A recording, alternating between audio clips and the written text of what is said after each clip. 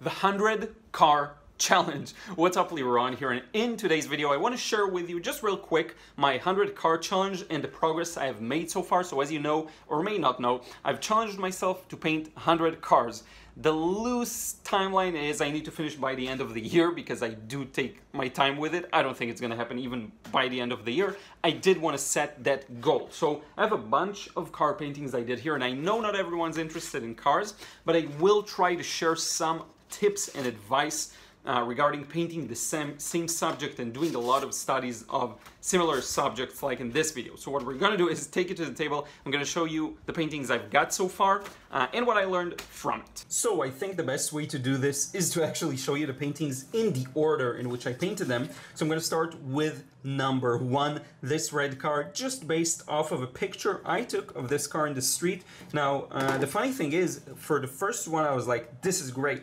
I was so pleased with it. And I just want to give you a word or two. With every car I'm going to try and give you some kind of a tip um, of uh, try and choose if you're going to do this um, challenge try and cho choose a subject you really enjoy painting. Now the idea of the sub the, the challenge is to push through a lot of the resistance and challenges of practicing. Because you paint the same thing over and over again it it makes it evokes a lot of things in you that I find very helpful for personally growing uh, in your painting skills or drawing skills whatever medium you choose uh, which is why I did this subject. You want to choose uh, a reference photo you really enjoy. Now the first one turned out really great but then here's the second one this was a nightmare. I really did not like how this one turned out.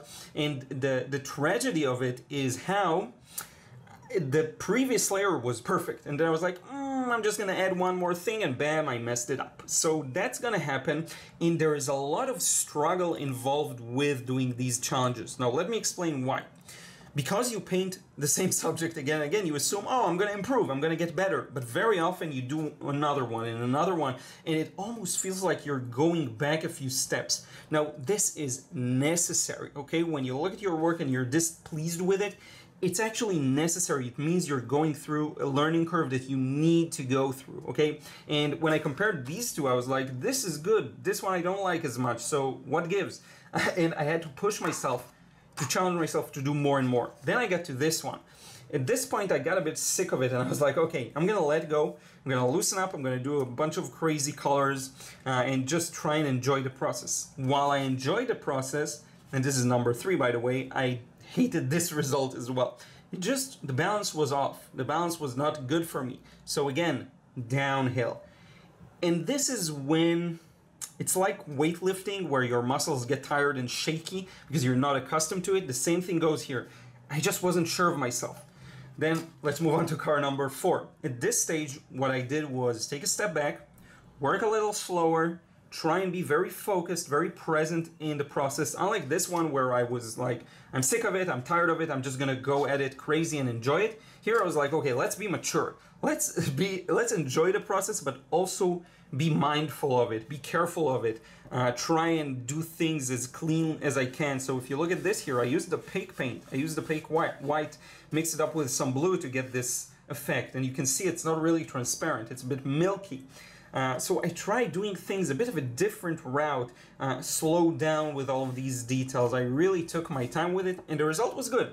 A bit too constrained and tight to my for my taste, a bit, but still a good result. Then I did this one, so this is number five, and that's when I started paying attention to some more nuances of getting the color to do exactly what I wanted. So I was able to be present with the process, to be careful, but also notice these tight things here. So for example, this transition, it's beautiful. It's exactly as I envisioned it. It's very smooth. Look at this. I did all of this wet and wet. Very smooth transitions from the light here to the slightly darker here. Okay, but then let's take it one step forward. Look at the shadow here. It's excellent. This tire blends into this. So what you get is a very clear um, experience of traveling over the painting. These are sharp details and you stop and you focus on them and here your eyes can let go. They can um, they can relax a bit you know? So this is what I really achieve to will really strive to achieve here. A proper uh, balance of edges and and all of those things in order for them to connect, I had to go through some struggles and then some feeling like I really hate the result and then like I'm trying to control it too much and it's a little better but not really, you know, so then you start paying attention to nuances, okay?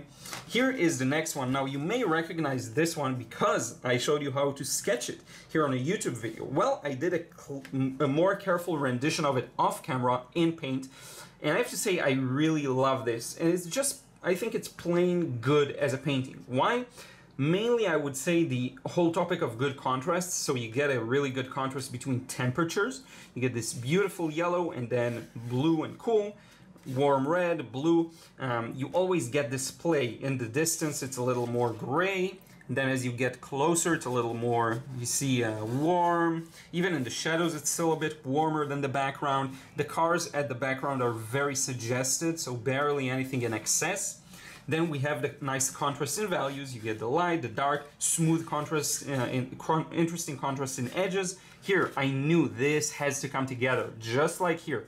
These edges have to come together. They have to blend fully because I'm not touching this area again. As soon as I touch it, I'm going to kill it. Let me show you if I have a good example of it. I actually don't, but as soon as I touch this area again, I'm going to kill that smooth transition that's so beautiful. Um, I love these highlights within the shadows. Uh, very smart, I think. Uh, so just a variety of contrasts overall. This is car number six that I finished in this challenge. And now, car number seven, nothing fancy, but I will say this. Next comes experimentation. Because you've done so many, you're no longer as scared to mess things up. And with this one, I was much more confident. So I got a loose result, I got some of the things I wanted, especially in this area, but I also was not scared to try out new things. So I really tried pushing the background. Because it had this abstract quality to it, I tried to push it for to be again as abstract as I could, but still read as something. And hopefully you get to see that there's a building blocking the view here on the left and this shadow and then there's a bunch of awnings there. It's a bit hard to tell, I know, but eh, hopefully at least when you look at it from afar and maybe you squint your eyes a bit, it makes sense and has a fairly realistic feeling to it. Okay, so this is number seven in my experimentation. I have to say so far, without a doubt, my favorite is this one.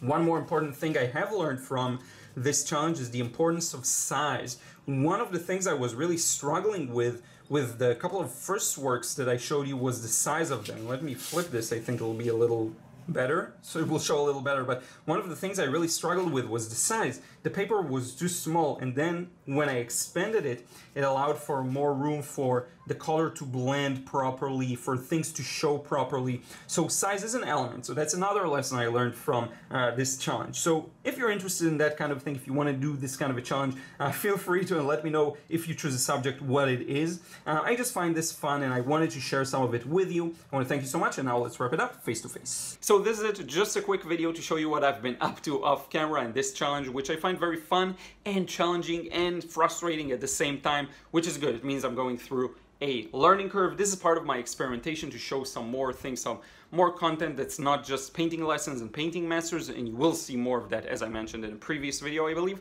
Um, and I'll try mixing it up a bit for my own sake, for the channel's sake, and for you to enjoy more. So if you want to learn how to paint like me, as always, be sure to check out the frustration-free watercolor course, link in the description box below. You'll also find in the description box uh, all of the tools I use more often. Um, you'll find a lot of the answers that many people ask me, you know, what paper, what brushes, and so on. Let me know in a comment down below if there's a topic you wanted me to cover in a future video that's also maybe a bit off topic. I am curious to hear because I want to share more of these things with you. Personal stuff, whatever it is, let me know in a comment down below. I really appreciate you sticking around and watching this video, and I will talk to you again real soon.